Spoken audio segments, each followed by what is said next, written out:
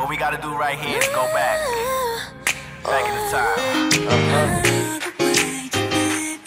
Okay. okay.